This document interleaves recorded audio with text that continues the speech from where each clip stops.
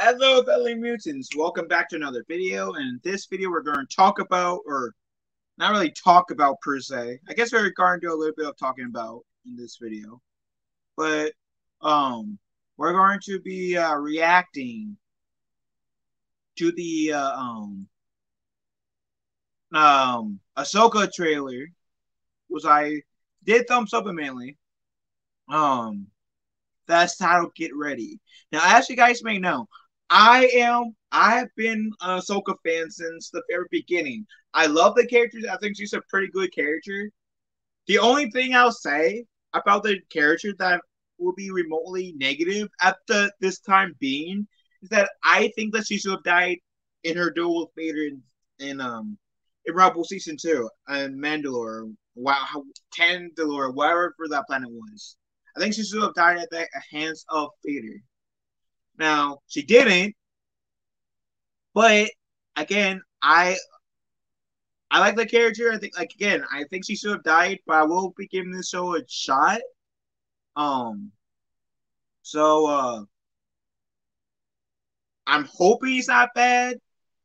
Um again, Ahsoka should have died in her duel with Vader, in my humble opinion, if anyone asks. Anyway, let's react to the uh get ready trailer, right? Yeah. He's coming. When the stakes are this high, it takes a master and an apprentice to defeat our enemy. What makes someone ready? You just know.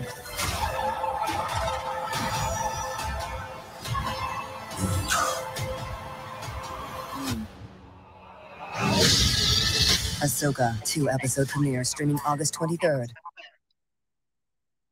Okay, so that wasn't exactly a uh why did I get out of screen share? I meant to play this while I was talking. on. My bad, my apologies. There you go. So I don't think that this is exactly a bad trailer. It it's a pretty good trailer. Um doesn't really give us too much or too little.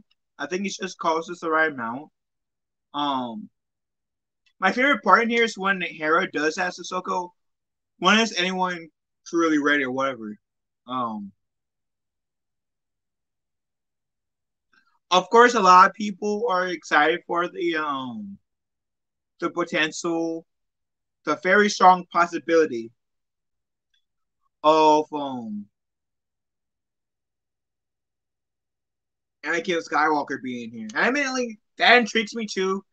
Um, I I'm curious if they're going to use like flashbacks, ancestors, or Force Ghost Anakin. Um, if they're going to go with flashbacks, then I hope they do the whole de aging thing better than they did in Kenobi, because what we got in Kenobi in terms of Anakin, like the little practice sparring with Anakin and uh, Obi Wan was good. I'm not that's one of the few things I was gladly compliment the Kenobi show about. The Kenobi show is, for the most part, is eh, but that flashback when Anakin and um Obi Wan was sparring at the Jedi Temple in Coruscant was good. Now, the only complaint I have, which is a lot of people's complaint about that one flashback, is that they didn't de-age like Anakin's face very well, right? And uh, even though you can tell like by his voice in the like the last trailer, um, that we got for Ahsoka, um, that she um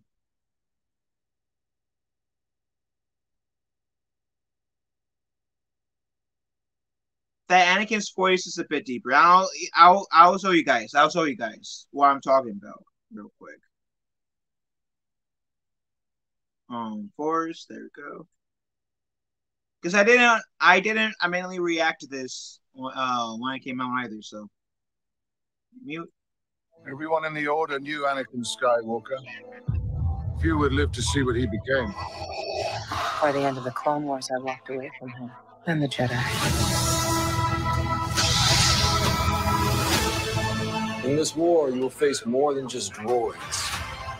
As your master, it's my responsibility to prepare you. I won't always be there to look out for you. I could use the help. Once a rebel, always a rebel. Don't be afraid. Like, Trust your instincts. like his voice seems a bit deeper. I know you can do this, Ahsoka. Like his voice is a bit deeper than it was in Revenge of the Sith. In my humble opinion.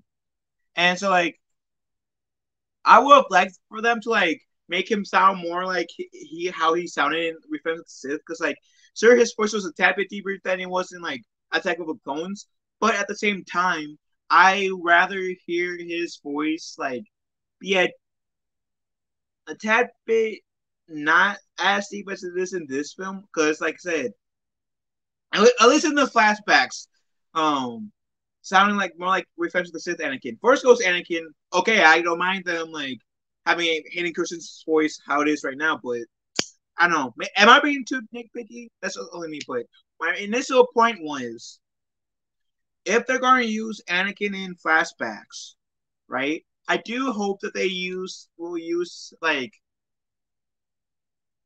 better use the de-aging process because like in the Kenobi show, like I said, the training scene itself was fine. I love that, but like Anakin looked too old to be a teenager. I'm sorry. So um hopefully they'll do a better job at the, the aging process if they're going to use flashbacks to Anakin in the Clone Wars, right? Anyways, what do you guys think? Let me know in the comment section down below. Um, love you guys. One over there, kind one other. Just um, does those two trailers make me more excited about the uh, show? I don't know if excited would be the word. I think interesting, or interested, is the better word. Interested, sure. Um, because I'm kind of curious how they're going to use Anakin. I'm curious on like how they're going to portray Ahsoka. Even though, as I said in the start of this video, that I and I strongly do believe this, Anakin should have died in her duel theater. And if they do have that, right, then they got like Force Ghost Anakin, right? Then that of course means that they have to, in my humble opinion, they have to have that scene between Luke Skywalker and Ahsoka Tano when they're when they meet. Luke saying, "I'm Luke Skywalker," and Ahsoka said, "I my master was last name was Skywalker," and Luke says, "What's your master's name?" Anakin. I said, "That's my father," and something along those terms that will like segue them into like having Luke tell Ahsoka, "Yeah, Anakin, my father turned to the light side. He before he died, he